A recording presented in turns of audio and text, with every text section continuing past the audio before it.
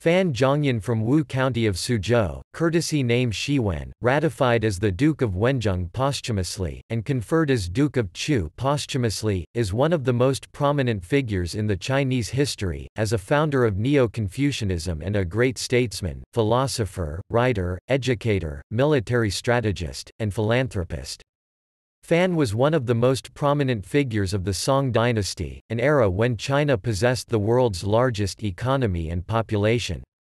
After serving the central government for several decades, Fan rose to a seat of chancellor over the entire Chinese empire nearing the zenith of its pre-modern economic, social, and cultural development. Fan's philosophical, educational and political legacy is one that changed the course of the Chinese history, one so powerful that it continues to exert a profound impact on the Chinese civilization today, and his philosophy and writings remain a core component of the Chinese literary canon. While Fan spent the majority of his time governing China, his myriad deeds and teachings, well represented by his well-known saying be the first to bear the world's hardship, and the last to enjoy its comfort, have served as an inspiration to the Chinese people for a thousand years.